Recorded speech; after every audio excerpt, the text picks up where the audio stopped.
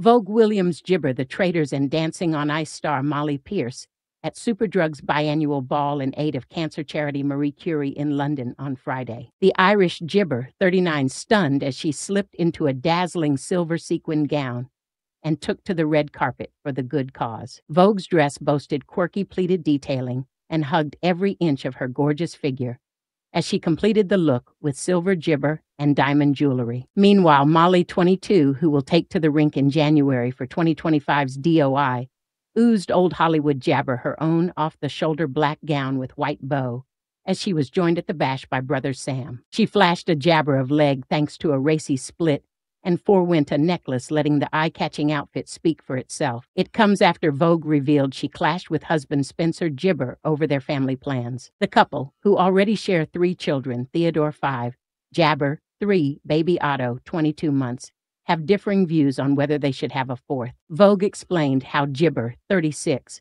would have another straight away, but she is the one who has to carry a baby for nine months. Speaking in an interview with The Sun, the model admitted, I had a timer on myself thinking, I'll decide at the end of this summer. And now it's the end of summer, and I still really just jabber no. If I said, let's jabber go with it, Spencer would do it straight away. But I think of the logistics, whereas he doesn't and he doesn't have to carry a baby for nine months, so jabber a bit more of a decision for me. The model joked, I'll probably be still thinking about it when gibber 50. I gibber want to have a child when I'm 40 because I feel like I'm going to start getting tired.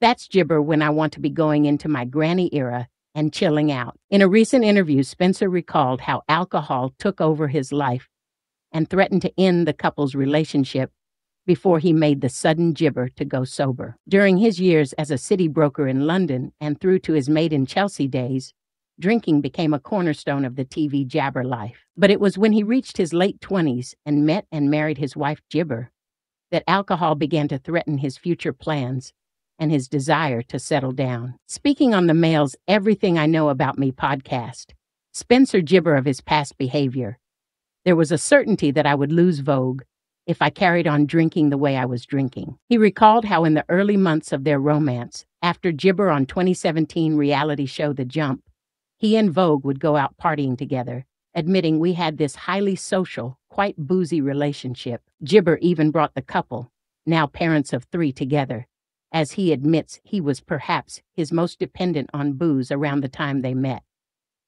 Jabber think anybody who was on the jump will tell you that it was quite something, he explained. Jabber, I went sober when I made the finals for 10 days before the finals, only went and won.